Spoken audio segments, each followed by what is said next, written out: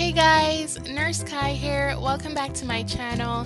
Did you know that facial hair grows much faster than any other hair on the body?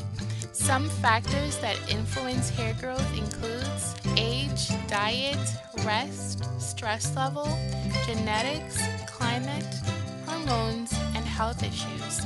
Don't forget to subscribe, like, and share this video. Thanks for watching. Bye!